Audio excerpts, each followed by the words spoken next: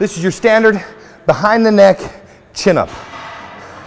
This superset calls for three sets of this mixed with a flat barbell bench.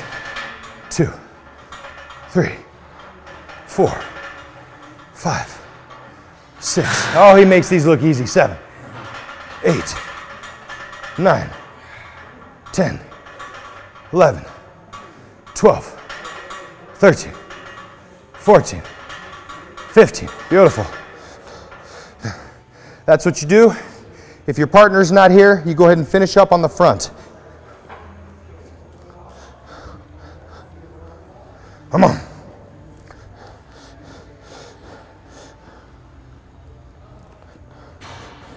This is set of 10 to 15.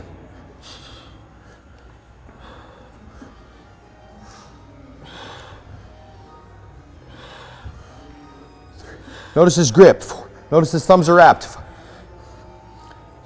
Notice he's not touching his chest. There's two theories. You can either touch your chest or not. But he's literally stopping the weight from descending and pushing it up. It's beautiful. This is a squeeze. This is harder. It's not about the weight you push. It's about the muscle group you use to push the weight.